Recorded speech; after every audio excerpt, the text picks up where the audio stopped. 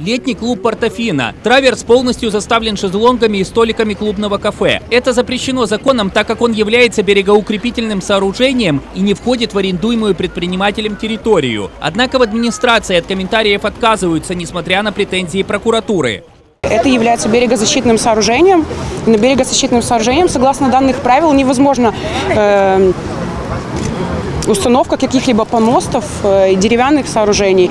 А это клуб «Мантра». Здесь прекрасно все. Траверс опять же заставлен шезлонгами. Отсутствует 30% бесплатной территории на пляже. Пятиметровый отступ от уреза воды и сквозной проход вдоль побережья. Администрация ведет себя более адекватно, чем в Портофино. Часть пляжных кроватей и шезлонгов забирают, освобождая хотя бы какой-то процент от необходимой территории. Также сворачивают забор в двух местах и обещают, что проход больше закрывать не будут.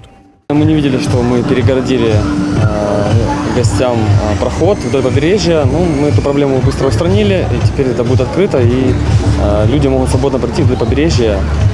Никто не будет препятствован. Обещаете, что не поставите его назад?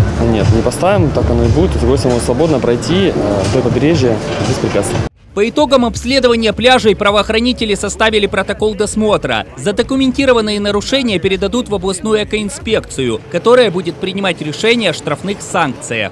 За участю поліції, контролюючих органів е, та разом з вами було здійснено е, обхід території пляжів, е, виявлені порушення. За результатами вказаних оглядів будуть складені адміністративні протоколи на СПД, які є орендаторами певних пляжів, де ми побували та встановили порушення, такі як розміщення. Также о нарушениях уведомят городскую власть, на основании которых мэрия может через суд разорвать договор аренды. Отметим, что судьбой одесских пляжей заботилась депутат Верховной Рады Татьяна Плачкова. На основании именно ее заявления и действовали правоохранители. Только вот непонятно, почему подобные нарушения стали волновать народную избранницу в конце пляжного сезона, накануне старта избирательной кампании в органы местного самоуправления. Константин Гречан и Владимир Ивжич, телеканал «Репортер».